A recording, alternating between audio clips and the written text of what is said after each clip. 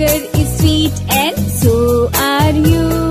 Roses are red, violets are blue. Sugar is sweet and.